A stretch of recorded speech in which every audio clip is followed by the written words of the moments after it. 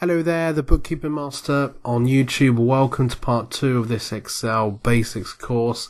This is not the absolute basics. If you want to learn the absolute basics, go to freebookkeepingaccounting.com, go to the Excel training under free stuff here, go to online Excel course, absolute basics, three part series. This is the basics continued, once again a three part series, and this is part two. If you join us here, then please go back and watch from part one. In the previous video, I created this very, very basic table by putting a title in. We added some borders, added customers, added the months. We got a total sales per customer at the end here and total sales down the bottom. And as mentioned in the previous video, I've added some information here in the table these are the sales figures for each customer.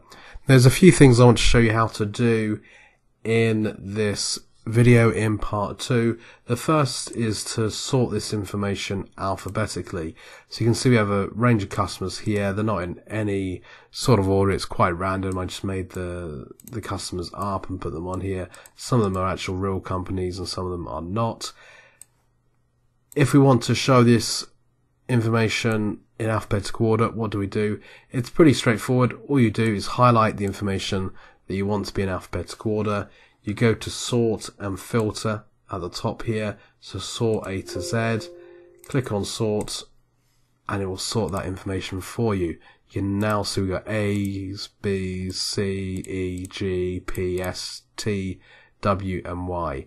So this information is now alphabetical. These customers here have been put in alphabetical order. But there is a problem here, and that is the information here has not changed. So if customer A was down here originally, this is the sales information I entered for customer A, but now it's showing that this is the sales information, which is obviously wrong. The data hasn't changed, just the suppliers or the customers, sorry, here. So what do I need to do? Well, let's undo that first of all by clicking undo. If you ever make a mistake, you can just click undo and it will revert back. You can see once again, they are in the original order. They're not in alphabetical order. So what do we need to do? We simply highlight the customers and also highlight the data. So highlight it all like so and then go to sort and filter at the top here click sort A to Z. You can also do Z to A. Let's do sort A to Z and you'll see that the customers as well as the data will move. So if we look at customer A, you know, if you look at their sales across here, just look at those figures. When I move this, that will stay with customer A and the same with good customer, bad customer, silver limited and so forth. So sort A to Z and there we go. The customers have been put in alphabetical order and the corresponding sales data for that customer has also moved with the customer. Now I understand that I'm going pretty quick here and you might be brand new to Excel. So I suggest that you rewatch the video, you can pause the video, you can follow along on your Excel. Now all these suggestions will help you learn more and will benefit you more rather than just watching the video and listening to me go on. So please, you know, pause the video, rewatch again, practice on your own software. Those things will help you learn Excel much better. So that's sorting. Now you could have um, a list of suppliers, you could have a list of anything, list of locations, whatever it is. If you want to put them in alphabetical order, which is handy if you're creating a table like this, just highlight the information and click the sort and filter. What I would suggest is that you highlight the customers first and then highlight any other data. If I was to do this, say highlight this data, then go across, it might confuse Excel. Always start with the data you want in alphabetical order first and then highlight the remaining data. So that's the first thing. The other thing I wanted to mention in this video is adding comments. So we have lots of data here, lots of sales, and it could be that some of these sales figures we want to really highlight and point out. So obviously you can color the cells in that you want highlighting, you know, have them stand out, or perhaps you can make certain cells bold if you wanted certain figures to stand out, or you could italicize them, underline them, whatever it is. Let's just undo all of that by using my undo button here.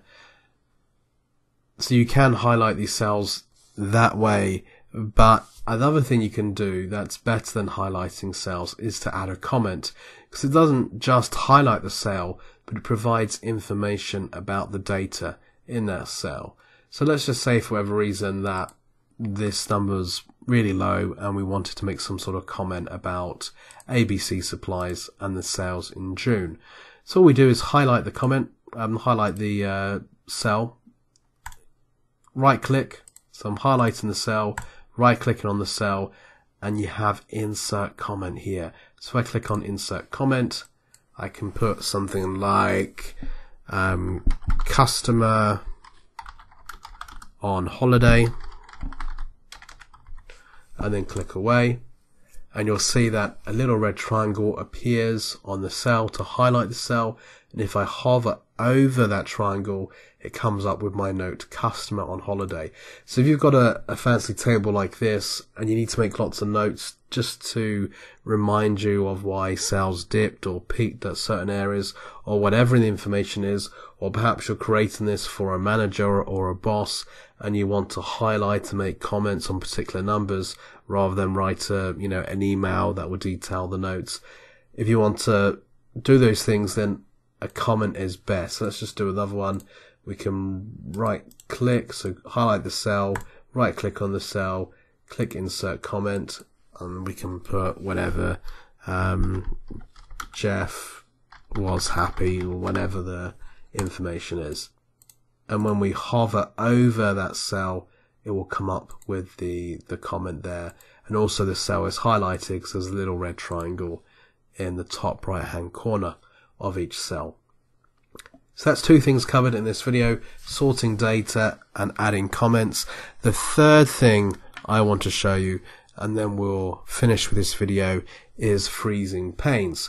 So you can see I've got some great customers here, lots of great data, great headings and totals. If I scroll to the right though, and I'm looking at this data, how do I know which customer this data relates to? Well, Excel has this great feature where you can freeze the panes. And that means if we scroll, whatever panes are frozen, whatever cells are frozen will actually come along with us. And the best way to demonstrate this is to actually show you. So all we need to do is go to view at the top ribbon here, view, and then there's freeze panes, click on freeze panes. We have the option to freeze a selection of panes that we've highlighted. So we highlighted this column, we could freeze that. We can freeze the top row and we can freeze the first column. So let's freeze that first column. I'll click on that. This column is now frozen. So if I go to the right, you'll see that information actually comes with us. So if I'm looking at December 19, I can actually see which customer the value relates to. If that wasn't frozen, you know, if we unfreeze this by clicking on this again, unfreeze panes and go to the right, we can't actually see without scrolling back. So it's great to, to freeze. Let's just go back and freeze that first column again, that information comes with us. Okay, that's it for this video. Thank you so much for watching. In the next video, I'll show you how to add a graph, the basics of adding graphs on Microsoft Excel.